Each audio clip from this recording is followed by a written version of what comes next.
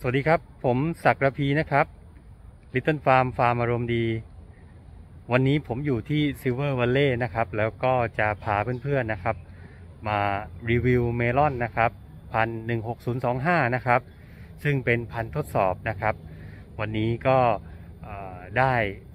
รับเมลอน 16025 นะครับ จากคุณจอยนะครับ มีสุขฟาร์มนะครับที่หาดใหญ่นะครับ ส่งมาให้ผมรีวิวนะครับ ซึ่งผมได้ก่อนหน้านี้ผมได้ส่งเมล็ดนะครับ ไปให้คุณจอยอทดลองปลูกนะครับ แซมกับเมลอนกรีเน็ตแล้วก็อัลฟานะครับ แล้วก็ครบเวลาเก็บเกี่ยวแล้วนะครับอ่านะครับ16025นะครับ เป็นเมลอนพันทดสอบนะครับ เนื้อเขียวนะครับ ทรงกลมนะฮะอายุเก็บเกี่ยว 40ถึง45 วันนะครับ ทรงต้นกระทัดรัดนะครับ ใบค่อนข้างใหญ่นะครับ ก็ผมเคยทดลองปลูกนะครับที่บ้านแล้วนะครับ ก็ ได้ผลดีก็เลยส่งเมล็ดนะครับ ไปให้เพื่อนๆลองดูนะครับ ลองปลูกดูปลูกแซมก่อนนะครับอ่านะครับ ยังไม่ให้ปลูกครอบใหญ่นะครับ ก่อนที่จะไปดูรีวิวนะครับ เดี๋ยวผมพามาดูเมลอนพันหนึ่งหกศูนย์สองห้านะครับที่ผมลงขอบใหญ่ไว้ที่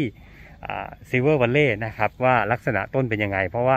เพิ่งลงปลูกไปได้ไม่กี่วันเอง เดี๋ยวเราไปดูต้นเมลอนกันนะครับ อ่าโอเคนะครับ นี่คือ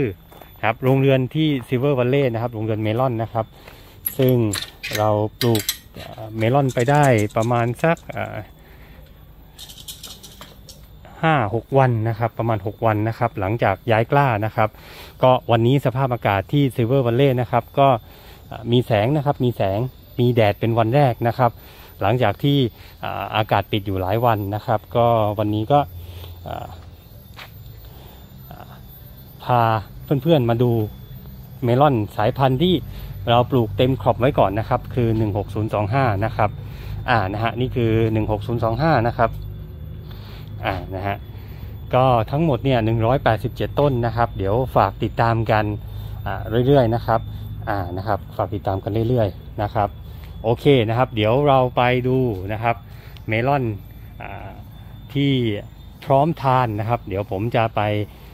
รีวิวให้ดูนะครับว่าลักษณะทรงผลเป็นยังไงนะครับเนื้อเป็นยังไงนะครับสีเนื้อเป็นยังไงนะครับ แล้วก็รสชาติเป็นยังไงด้วยนะครับ เดี๋ยวไปดูกันนะครับ นี่คือเมลอน 16025 นะครับ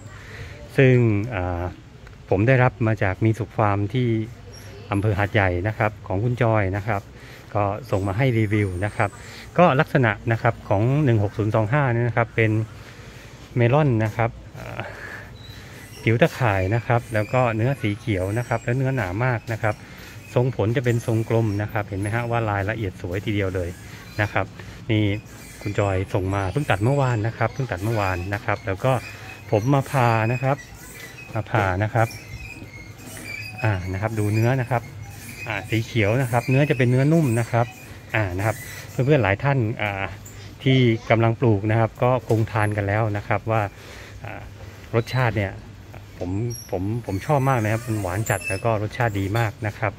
ก็ไม่พูดนานนะครับเพราะบิงซูเดี๋ยวจะบิงซูละลายนะครับเดี๋ยวมาดูความหวานกันก่อนนะครับว่าหวานเท่าไหร่นะครับหลายๆ ท่านอยากรู้ละ16025นะครับอายุเก็บเกี่ยว 40ถึง45 วันนะครับเป็นเมลอนผิวตะข่ายเนื้อเขียวนะครับ แล้วก็เนื้อหนานะครับนุ่มนะครับ หวานนุ่มมากนะครับ เดี๋ยวดูนะครับว่า ความหวานจะเท่าไหร่นะครับ อ่าเดี๋ยวดูกันเพิ่งตัดเมื่อวานนะครับ ความหวาน อ่านะครับ ดูนะครับ15 16 17 18บริกนะครับ อ่าเพิ่งตัดเมื่อวานนะครับ หวาน18บริกนะครับ โอเคนะครับ เดี๋ยวผมจะแคปเจอร์ให้ดูอีกทีหนึ่งนะครับ โอเคนะครับ นี่คือเมลอนนะครับ สายพันธุ์จริงๆแล้วเป็นพันธุ์ญี่ปุ่นนะครับ เพราะว่าทรงทรงกลมนะครับ แล้วก็เป็นสายพันธุ์ที่อ่ากำลังทดสอบแล้วผมก็แนะนำพันธุ์นี้ด้วยนะครับหลายท่านคงได้เมล็ดไปปลูกกันแล้วนะครับ ก็การันตีได้เลยนะครับว่าพันธุ์นี้ดีนะครับดีจริง ๆเลยนะครับ แต่ว่าเมล็ดมีจำหน่ายหรือเปล่าตอนนี้ผมยังไม่แน่ใจกับทางผู้ผลิตเดี๋ยวผมจะส่งข้อมูลรีวิวทั้งหมดเนี่ยให้ผู้ผลิตเขาดูนะครับว่าเมลอนหนึ่งหกศูนย์สองห้านี่ยครับผมยังไม่ตั้งชื่อเลยเดี๋ยวว่างๆใครที่ตั้งชื่อให้ผม ก็รบกวนช่วยตั้งชื่อให้ผมด้วยนะครับ อ่าอาจจะมีรบกวนช่วยตั้งชื่อให้ด้วยนะครับอ่าครับผมยังเรียกเป็นรหัสอยู่เลยว่า 16025 นะครับ โอเคนะครับ 16025 ปลูกที่มีสุขฟามอำเภอหาดใหญ่นะครับ จังหวัดสงขลานะครับ ความหวาน 18ปริกนะครับ เนื้อหนาอร่อยมากที่สำคัญกลิ่นหอมมากนะครับ กลิ่นหอมมาก โอเคนะครับ เดี๋ยวผมขอทานก่อนนะครับ ผมขอญาตทานก่อนนะครับบิงซูนะครับ โอเคนะครับ โอเคนะครับ อ่าโอเคนะครับ